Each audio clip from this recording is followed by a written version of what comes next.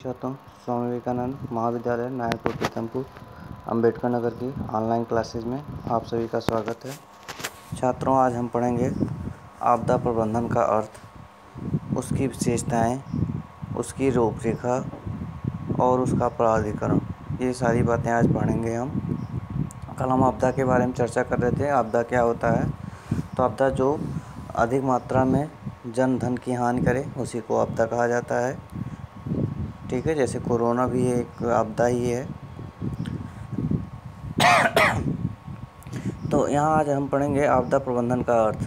तो जैसे यहाँ परिभाषा में दिया हुआ है कि आपदा प्रबंधन वह प्रक्रिया है जो आपदा के पूर्व समस्त तैयारियों, चेतावनियों, पहचान, प्रशासन, बचाव, राहत, पुनर्वास, पुनर्संयोजन, पुनर्निर्माण आदि के लिए अपनाई जाने वाली अनुक्रिया होती है, उसी को आपदा प्रबंधन कहा जाता है।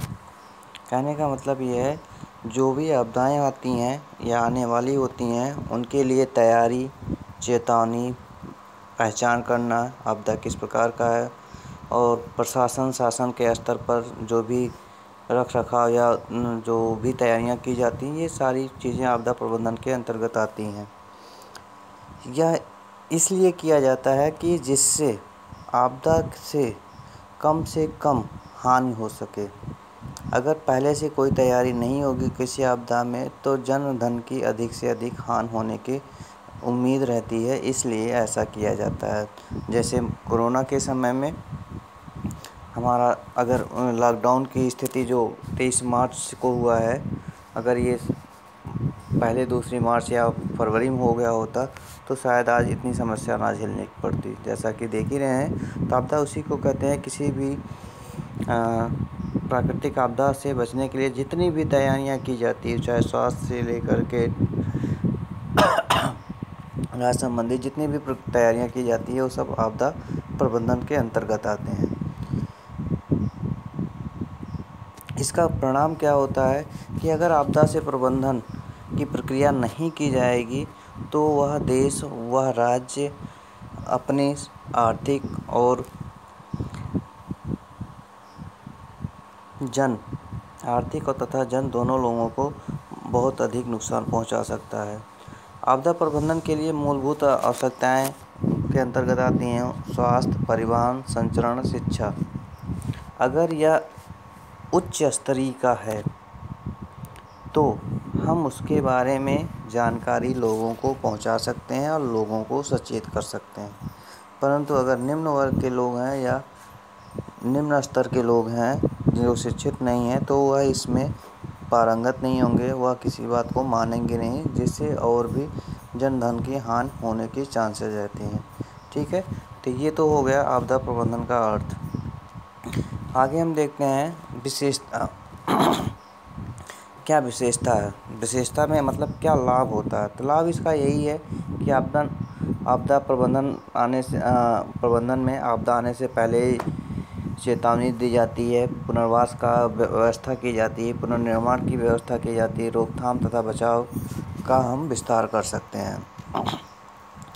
तथा संपूर्ण लोग, जहाँ भी आपदा आने के चांसेज है, वहाँ पर जो है, जो ह्यूमन बींग्स हैं या मनुष्य हैं, उनको वहाँ से हटाया जाता है पहले से ही, जिससे बहुत कम, या कह सकते हैं कम से कम जनधन की हानि होती है। आपदा प्रबंधन की जो प्रक्रिया है, बहुत जटिल है। इसमें केंद्र, राज्य, स्थानीय शासन तथा लोगों का योगदान होना आवश्यक है।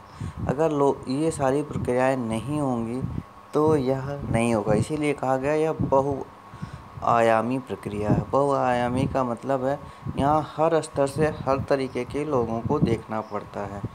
ठीक है? और नेक्स्ट जो बताया गया है,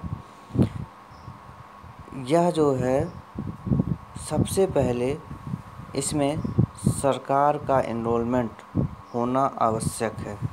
जब तक सरकार इस बात को इंडिकेट नहीं करेगा, बताएगा नहीं, तब तक यह कार्य लोगों के द्वारा या खुद से नहीं किया जा सकता है।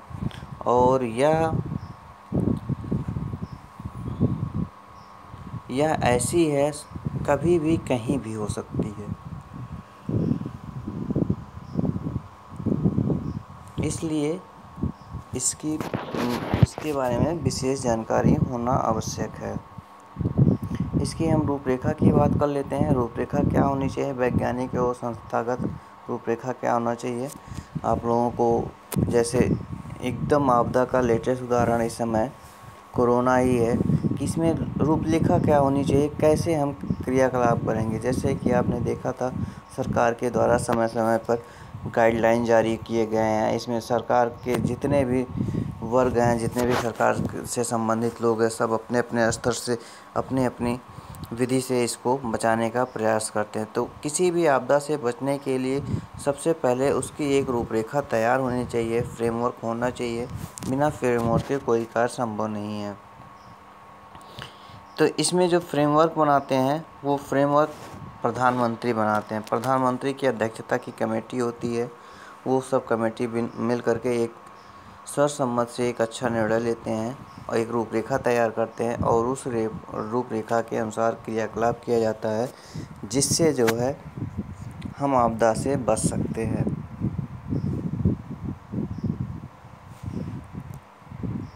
ये विभिन्न प्रकार की क्रियाकलाप हम करते रहते हैं।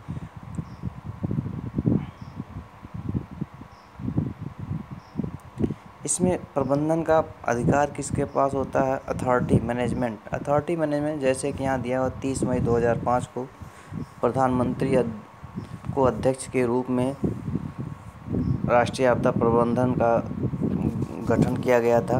याद रखना है इसको, बहुत इम्पोर्टेंट चीज़ है। राष्ट्रीय आपदा प्रबंधन का निर्माण कब हुआ था? N D D M M A ठीक है?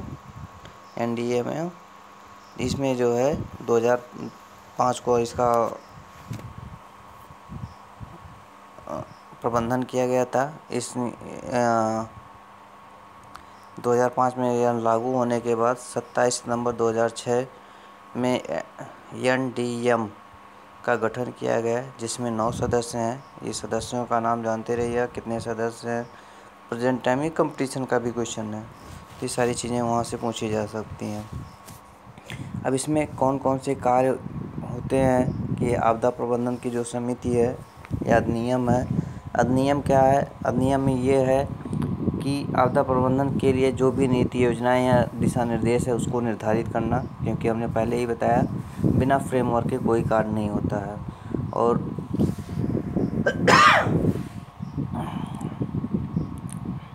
और प्रबंधन की योजना, भारत सरकार, मंत्रालय एवं विभागों द्वारा उसका अनुमोदन कराना कि मतलब यह कार्य अगर इस स्तर से या इस फ्रेमवर्क से होगा तो क्या अच्छा है या नहीं है, इसका अनुमोदन अथेंटिकेट कराया जाता है। अगर अथेंटिकेट नहीं होता है तो उसको लोग नहीं मानते हैं।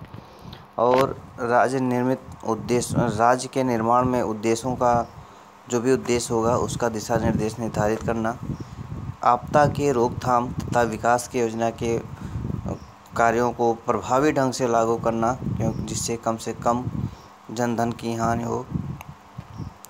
राष्ट्रीय आपदा प्रबंधन संस्थान के कार्यक्रम हेतु स्थूल स्थूल का मतलब होता है एक अस्थाई नीति, दिशा दिशा निर्देश का निर्धारण करना।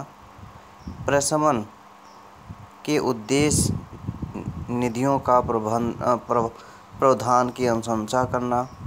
ठीक है, ये सारी प्रक्रियाएँ इसके अंतर्गत आती हैं। भारत सरकार के भी द्वारा कुछ प्रयास किए जाते हैं जैसे प्रक, जो प्राकृतिक आपदा है सूखा बाढ़ चक्रवात या इन सब की जो है यह टेक्नोलॉजी द्वारा देख देख रेख करता है तथा उस आपदा से कितना नुकसान हुआ उसका मूल्यांकन करता है। मानव संसाधन विकास पर बल देता है कि जिससे यह काम अधिक हो। नेटवर्किंग पे भी बल देता है सरकार। प्रशिक्षण कार्यक्रम क्रिया कार्यशालाएँ, ये सब आयोजित कराता रहता है कि जिससे लोगों को अधिक से अधिक प्रशिक्षित करें और इससे लोग बच सकें और राष्ट्रीय आपदा प्रबंधन समिति का गठन करता है। सूचना टेक्नोलॉजी को और अच्छा से अच्छा बनाने का प्रयास करता है, जिससे लोगों को अधिक से अधिक जानकारी हो सके। तो विभिन्न प्रकार की क्रियाविधि ये करता है। ठीक है? ओके फिर मिलते हैं नेक्स्ट क्लास में। Thank you